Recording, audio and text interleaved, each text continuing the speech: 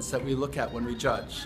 So all of those together make a composite. So one is, of course, the appearance, grooming. When you walk on the floor, do you already look like you're the champion?